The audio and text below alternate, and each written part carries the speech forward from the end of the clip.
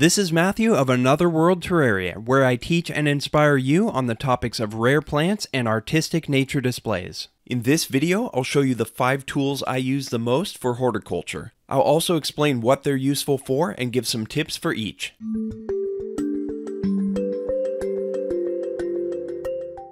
Number 1. Tweezers. I use all sorts of tweezers on a daily basis and I have a wide variety of sizes and shapes. Very large and long, small and short, pointed, curved, rounded, square, etc. I like to buy kits that have multiple tweezers in them because I get more value for the price. There are also some good larger tweezers that come with aquascaping tool sets, and the other tools are useful as well, so it's a bonus.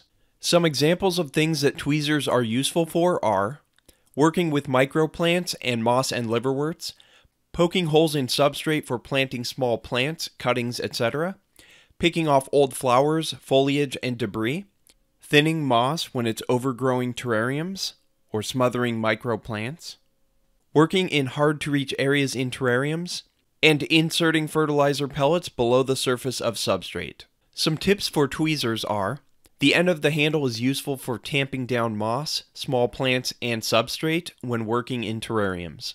You should disinfect tweezers after using them on plants which haven't been through a quarantine, after working with plants which may have disease or pests, and after using them in areas with mold. You can put heat shrink tube on some parts to reduce the risk of scratching glass when working in terrariums, as well as to act as a bit of a cushion when working with microplants. A magnetic toolbar is useful for storing them, although some won't stick to it. By the way, there's some links in the description for some of the items mentioned in this video in case you want to get any of these helpful tools for yourself.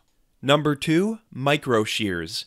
My favorite micro shears are the Fiskars Softouch. I like them so much that I have two pairs. Some examples of things that micro shears are useful for are trimming small plants, cleaning plants such as removing old foliage, flowers, diseased portions, dead roots, and so on, taking cuttings, and snipping thread after attaching plants to epiphytic mounts.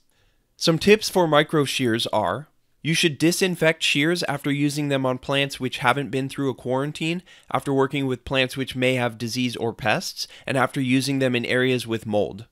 I'd recommend having at least two pairs of shears so you can use one while the other is being disinfected, and if you have plants in multiple rooms, it's nice to have a pair within close reach. Occasionally sharpen the blades with a high quality sharpener. A magnetic toolbar is a convenient and tidy way to store shears and other tools. Number 3. Water sprayers. I use two types of water sprayers. One, pump sprayers, and two, handheld misting bottles.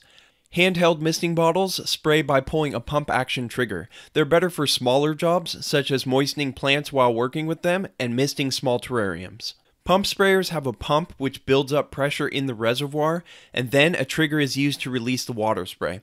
They're better for bigger jobs, such as watering many plants, watering large terrariums, and watering areas that are hard to reach. I have two models of pump sprayers, both are Solo brand. Some examples of things that water sprayers are useful for are misting terrariums, misting and watering plants, watering things that are hard to reach, rinsing glass and bins, and spraying liquid fertilizers and chemicals.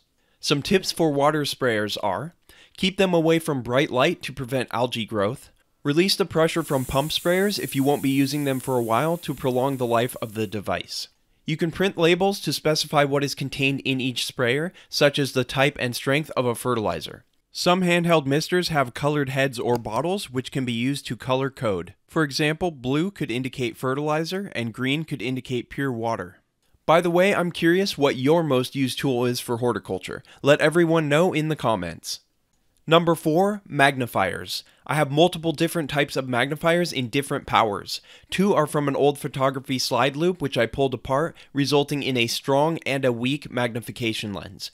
One is a fold out set with three lenses that can be stacked for increased magnification, and one is a headband style magnifier with an LED and flip down lenses. This is convenient for work that requires both hands to be free. Some examples of things that magnifiers are useful for are examining plants for pests and disease, examining plants for identification characteristics, getting close up views of bugs, microfauna, and other things, and getting a closer look at microplants and tiny moss and liverworts, both for enjoyment and also when working with them. Some tips for magnifiers are Work in well lit areas for a much clearer and sharper view of the subject. In cases where the subject cannot be moved, you can use a portable LED lamp or headlamp for better illumination. Use a microfiber cloth for cleaning the lenses, and get a variety of different magnifications so you can find the right one for the task at hand. Number 5. Wash bottles. These are one of the most underrated tools that few people know about. Some examples of things that wash bottles are useful for are watering tiny and small plants, especially ones that need to be watered at the roots without getting the foliage wet. Watering through ventilation holes in deli containers, which saves time. Washing containers, such as the inside of bins and terrarium glass. Washing plants to get dirt and debris off the foliage, which is especially useful for textured leaves and sticky carnivorous plant leaves, both of which tend to hold onto debris. Wash bottles can also be used for dispensing chemicals such as isopropyl alcohol, fertilizers, and so on. Some tips for wash bottles are print labels to specify what's in each bottle, such as pure water or a fertilizer type and strength. Keep the bottles away from bright light, especially ones with fertilizer, to reduce algae growth. If you enjoyed this video, please consider giving it a like and sharing it with others. If you'd like more videos like this one, join Team Terraria by hitting the subscribe button and then click the bell so you're more likely to see my new uploads.